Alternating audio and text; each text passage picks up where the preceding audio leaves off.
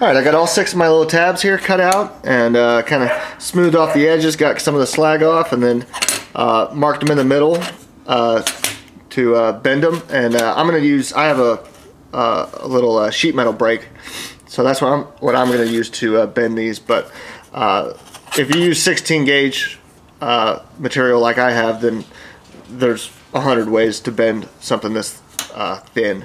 So anyway, now I'm going to come over here to the cab and this area in here it's not 90 degrees. It's probably something in the neighborhood of 70 degrees uh, maybe 60 somewhere in there. So I'm actually just going to take one and uh, make some practice bends with this one to get the actual shape uh, the proper bend that I need.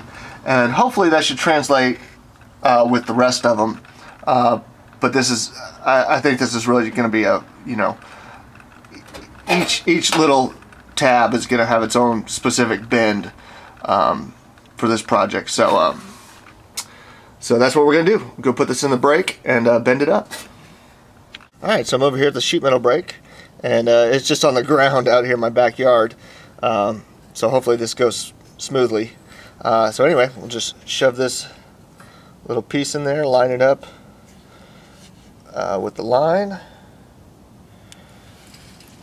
cinch it down and bend it up. Okay, I'm going to go with that for now. So that's going to be my starting point and uh, we'll see how it fits. Well, how's that for beginner's luck? Just one bend and uh, that's about as perfect as it's going to get. I'm not going to put this in the brake anymore and uh, just move on to the next one. So uh, I'll do the other five and then shoot another video. Okay, so what I've done is I've placed uh, my little bracket underneath right about where I want it to be. And then I traced it, you can see that sharp, block that hole. You see the little Sharpie line there. I'm gonna come up from underneath with my drill and drill a hole in there uh, to put my rosette weld in. So I'm gonna do this with all of them. I'm gonna do it all individually. Um, so this piece is going in this spot and then every piece is going to have its own spot. So I'll get going to this and then we'll drill some holes.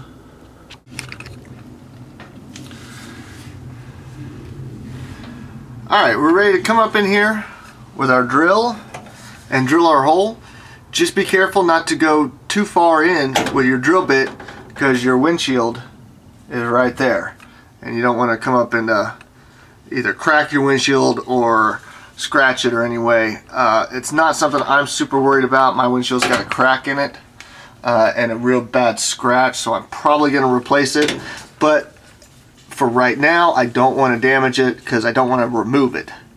Uh, I, I want to leave it in place just to keep the elements out. So anyway, come in here with your drill, just with a small, this is an eighth inch drill bit, uh, just to do a pilot hole, and we'll come back uh, with a larger bit and uh, drill out that hole so that we can uh, put a rosette weld in from the top.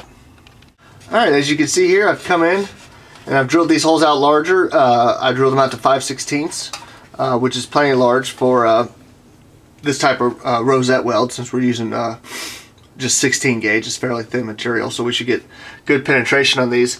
This one here, let me zoom out here just so you know where it is. It's just to the left of the steering column support. This one's the, probably the most difficult one to get to. I had to kind of come in from the side, sort of like that. Uh, it's just real hard to get the drill to come in uh, directly uh, perpendicular to it. So I had to come in from an angle a little bit. So that was the most difficult and it really wasn't that bad. So just to point that out, uh, the rest of them, uh, they're really not too bad. You got plenty of room. Um, if you get everything out from behind the dash and you got uh, plenty of room to get in there and uh, drill those holes. So the holes are done and uh, now we just uh, got to clean up the slag, the little shavings, uh, kind of clean this area, get it ready for welding and uh, then we'll weld these in.